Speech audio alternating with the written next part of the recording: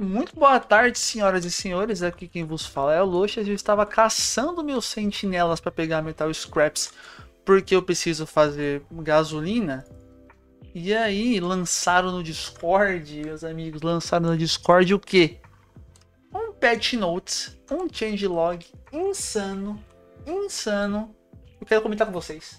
Antes de tudo, estou com a língua machucada por conta do aparelho então, assim, se a minha voz estiver engraçada ou tiver de alguma forma ruim, peço desculpas, mas é o que tem para hoje, tá?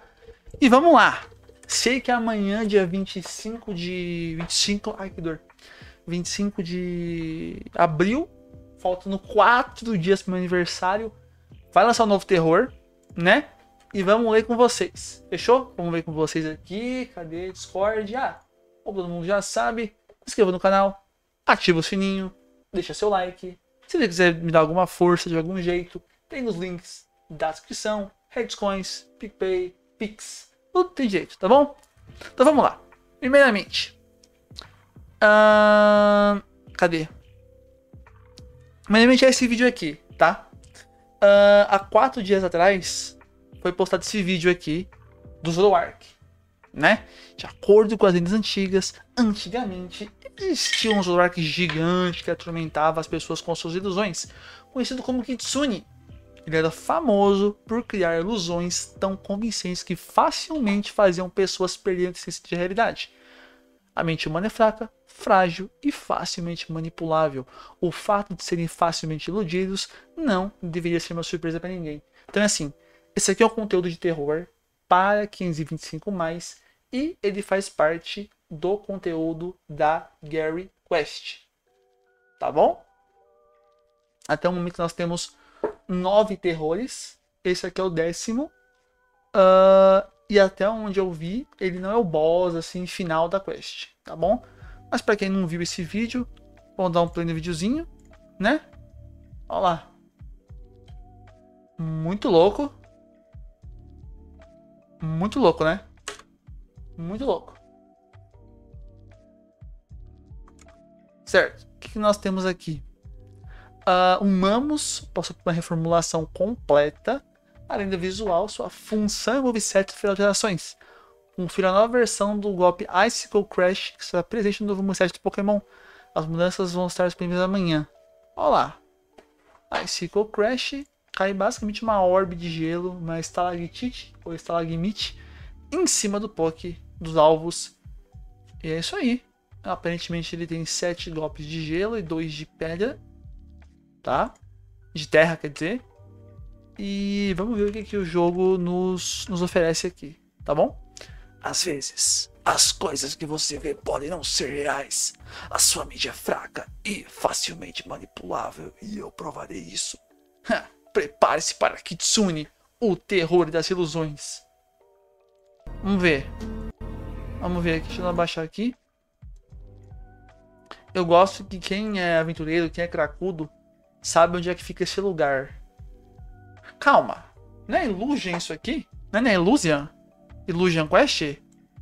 Faz sentido, né? Aquela parte final da, da que você pega a recompensa aqui em cima e aí você sai. Pode ser. Terror em Lavender, mais um? Bora. Tá. Nós temos aqui. Eu já vi o vídeo, tá? Então eu vou pausando aqui devagarzinho.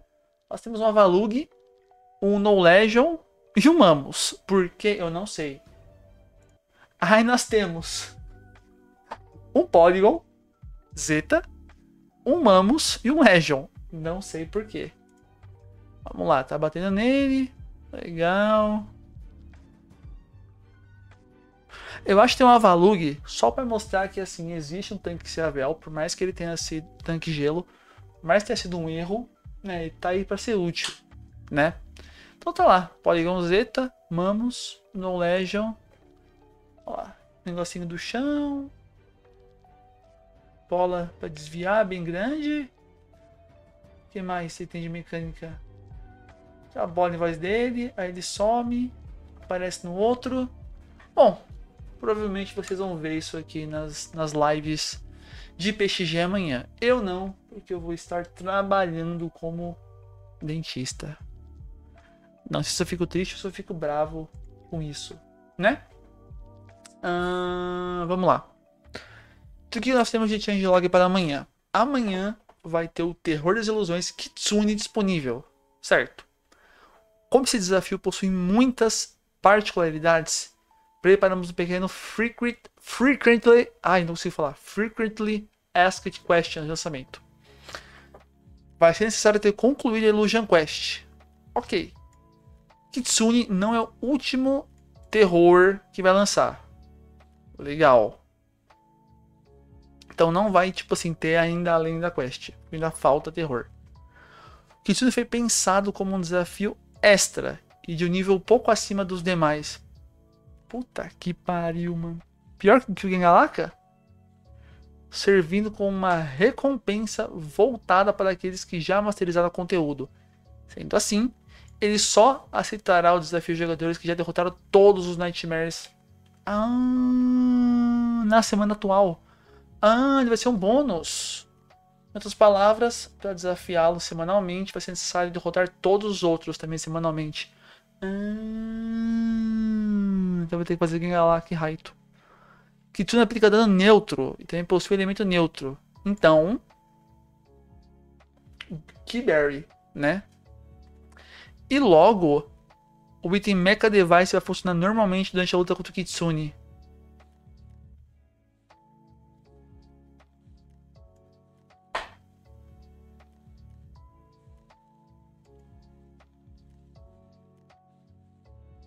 Não é possível.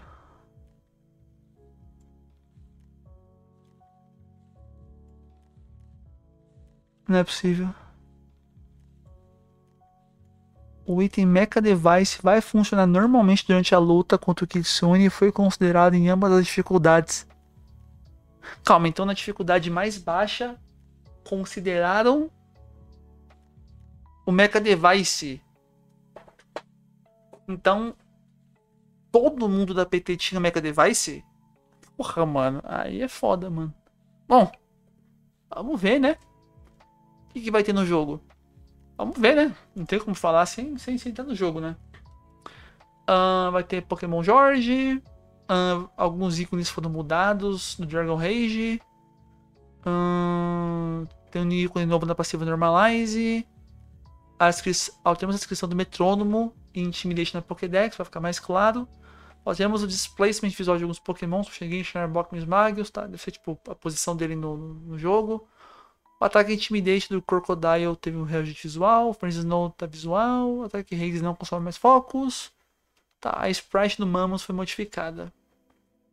Algumas correções básicas aqui de alguns poucos que estavam estavam erradas ou que coisinha tava, né, alguns bugzinhos. Não vem muito ao caso aqui, tá? Uh, vamos lá, ajuste do PVE. Olha o Legion. Qual é o ajuste do Legion? A área do efeito do Rio Pulse foi aumentada. Ok. O efeito de cura do Hidden Power foi repassado para ataque Real Pulse. Dessa forma, o jogador, utilizando esse Pokémon, poderá decidir quando quer aplicar o aumento de velocidade de seus aliados sem comprometer a cura do time. Tá. Corrigimos um erro que fazia com que a imunidade concedida pelo ataque baixo do Pokémon não fosse removida. Não, nem sabia disso. A Lacazette teve nerf? Teve? Tipo de recarga de Calm Mind Recover, tá? Pra não usar direto. Uh, não recebe tanto mais defesa quando dá o Psycho Kinesis. Tá?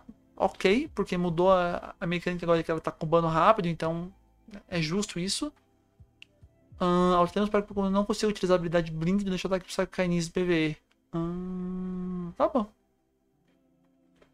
Charles Norix buff. Reduzimos drasticamente o tempo que o Charles Norix fica dormindo depois do impacto do Pulverize e Pancake. Alteramos o ataque Pulverize e Pancake para que ele conceda efeito focos em PVE. Ó, legal. PVE vai ter focos no PVE. Reduzimos a quantidade de, quantidade de ondas do ataque Rest do Shine Snorlax contra os PVE. Tá, tá melhorzinho, né? Shiny Magmar foi nerfado tempo de cooldown de algumas magias foi reduzido. Ah, não. O tempo de algumas magias foi reduzido. Né? Então ele tá combando mais. Uh, e a força do Fire Spin foi reduzida no PVE. Buff no Kazan. no Chanela Kazan. Trick foi drasticamente aumentada. Tempo de recarga do Cyball aumentou 2 minutos. Shine Octobus foi nerf. Mamaragan subiu 10 segundos. Mega Absol recebeu buff. Esse Pokémon tinha que ser refeito, né, rapaziada? Ataque básico foi aumentado. Shiny Guia foi buff. Porção levemente aumentada. Tempo de recarga do ataque bind foi reduzido. Tá. Ah, bacana. Shiny Dragonair. Ajustes. Força ataque Slam reduzido PVE. Tempo de recarga do Rap Twister reduzido, reduzido. Então, buffou, né? O DPS. Uh, corrigimos o erro que fazia com o ataque Dragonfly. Pokémon causasse dano mínimo PVE. Quando não tinha que causar dano. Tá bom.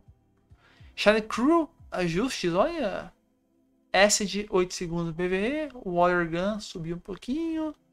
Força do Acid foi aumentada. Water Gun foi reduzida. Shine Pidgeot TM. Não toma mais self-stun quando dá Gust. Uh, e não tem mais né, tanto combo quando ele voa. E acerta, né? Bacana, não tem que se mexer tanto. Tá. PVP. Essa parte podia pular, né? Essa parte podia pular, que ninguém liga. Mamos. Mamos teve rework. A função do Pokémon foi alterada para de, de Disruptor para Tanker PVP. Isso aqui é bom ou isso aqui é ruim? Eu acho que é situacional, né? O Disruptor é aquele que fica causando stun, disable, CC, né? E o Tanker é um Tanker, né? Vai ficar lá batendo e vai ganhar na, na chatice. HP aumentado, defesa aumentado, velocidade de movimento foi aumentada, menos ataque básico, porque já que ele é tanque ele não pode dar tanto, tanto ataque básico, né? Uh, Ice Charge, Icicle Spare, Ice Fang, Icicle Crash. Joga um, um, um enorme pedaço de gelo que ao cair no alvo dá slow por 10 segundos. PVP vai deixar o chão congelado por 6 segundos, dá slow e quem passa naquela área. Avalanche, Powder Snow, Blizzard, Earthquake, Stone Edge. Ok. Togekiss Rework, olha só Togekiss Rework, mano. Olha o tamanho dessa porra aqui, viado. A velocidade de movimento foi aumentada. Ataque Extreme Speed Grey Love. Será que tem no fórum já? Calma aí. Deixa eu ver se tem no fórum alguma coisa aqui de PVP. Porque no fórum explica melhor, né? Deixa eu ligar o fórum aqui. Bom, vamos lá, aí. Então não tem mais Extreme Speed nem Great Love. Agora tem Air Slash e Moonblast. Na minha vida, no que eu me lembro, a Togekiss foi feita para o Winjon usar contra Pokémon Dark. Porque ela tinha um, todos os golpes fada, até o Metronomo era fada, todos os Metronomos são fada. E era para o Inja usar contra, contra Dark. Não tinha muito porquê um Psy usar uma Togekiss na minha cabeça. Não, não, não fazia muito sentido isso. Né? Uh, não tem no fórum que mudou? Não postou ainda. Nosso querido Struggler não, não postou. Uh. Vamos lá então. aqui dis dispara energia. O Air Slash aqui dispara energia cortante Flying. Causando dano ao oponente área em volta dele. Devido à habilidade da passiva Serene Grace, esse ataque causa Stun Never Boost de um segundo a cada acerto. Moonblast, dispara uma orbe energia lunar para frente, causando dano em área um projétil. Tá?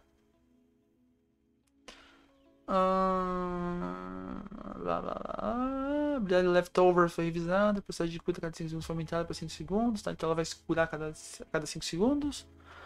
Menos ataque básico. Ah,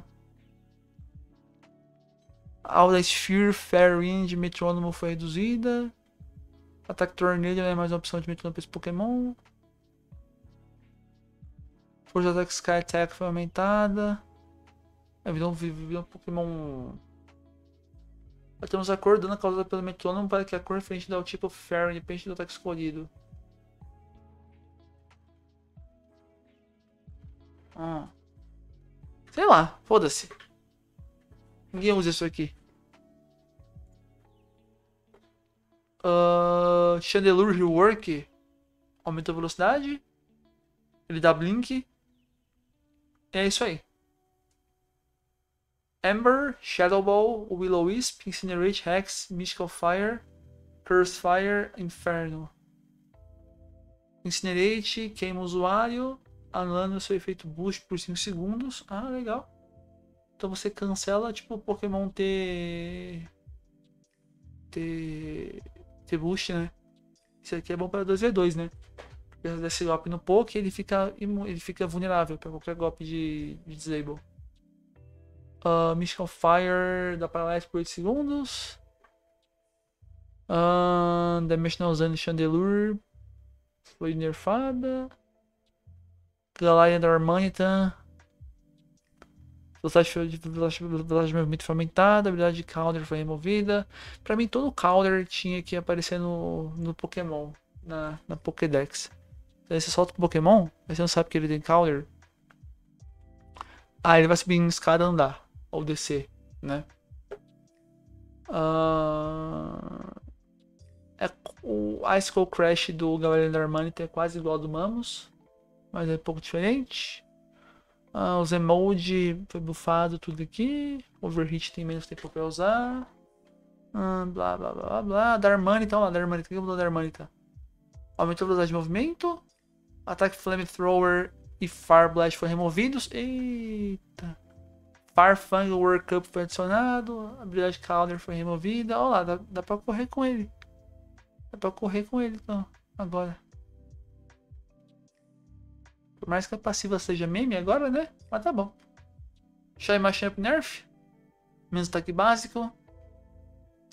Elite Farf Nerf. Drew Pack dá menos dano no PVP. O ataque básico também no Machamp foi no PVP. Polygon Zeta aumentou o movimento. Shiny Munchlax, o que aconteceu com ele? O ataque Crusher Stomp recebeu uma leve atualização visual. Hum, força ataque básica reduzida.